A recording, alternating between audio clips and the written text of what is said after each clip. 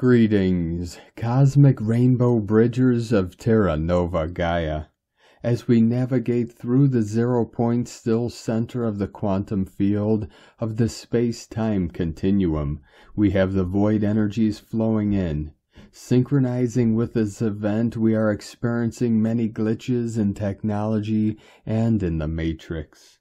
We had a blackout in the Schumann charts for 13 hours as the divine feminine energies flow in freely to call in the wisdom of unconditional love and bliss for all our good people of the new earth. The GOES satellite that records the daily solar flare activity reported from Space Weather website was also down for 24 hours. We are experiencing a major timeline reset and shift into alignment with our true ascension process as we make our full quantum leap into the new golden age of eternal life. All starseed earth angelics of the 144 are clearing, purging, and releasing all nefarious timelines that remain from the old 3D false matrix.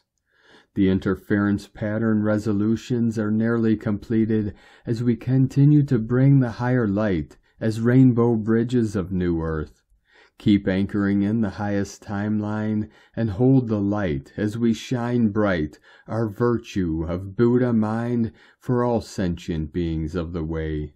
Aho! Welcome, beloved beings of light. I am Paul White Gold Eagle with PrimeDisclosure.com.